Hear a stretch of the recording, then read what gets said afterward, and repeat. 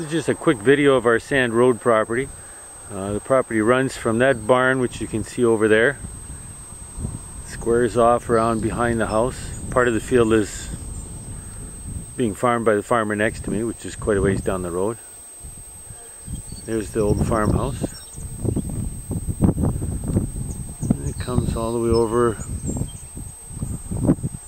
to the corner. You can see where the field squares up there behind this little building. Includes one, two, there's three outbuildings. Here's a third one right there, beside the road sort of. We'll do a quick walk to the back here. You can see the back part of the property.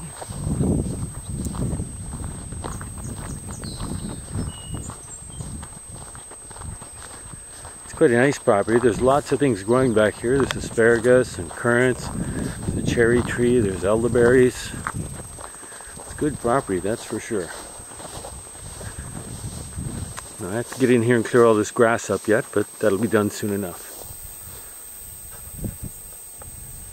So the property runs from over here. There's some of the currants. There's a cherry tree in the back there. There's some asparagus growing in here. Property runs over to here. It goes out there into that field about another 200 feet at least. It's 1.3 acres.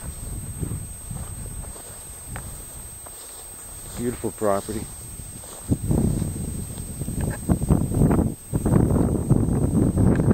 The back of this old building. I don't know if you can hear the bees and buzzing around out here.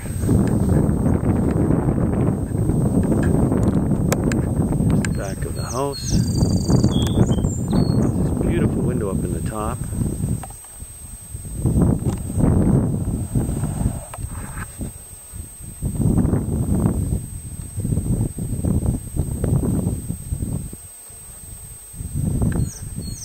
This little building here is like a little potter's shed. It has tables and everything in it. And there's a window in the back, view out over the field.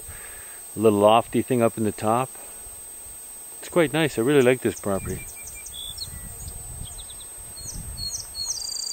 Some of the currant bushes. One, two, wild rhubarb. Three, four, and there's four more currant bushes on the other side. As you can see, they're quite heavy in here with the currants. This big bush in the middle here is the elderberries.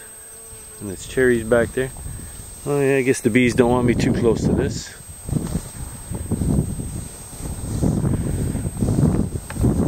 And this right here is asparagus. There's a whole clump of asparagus here. And there's some more farther up here.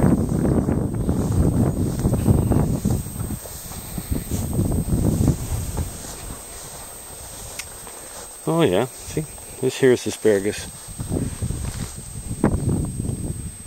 Right here. You can tell by the top.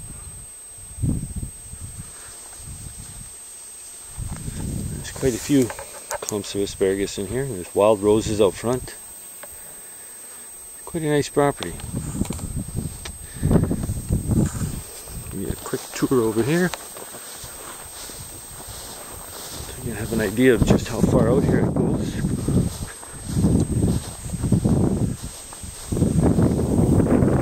Currants. There's my cherry tree lots of cherries. What a beautiful day it is out here. You know, the field goes out here. Oh, I'm disturbing the bees, so we're not going to be here too long. Goes along here. And it's level or squared up with that barn over there. So you take a line from that barn, it's about 200 feet out here into the middle of the field here, and then over here, and that's the property. Okay, I think that's about it.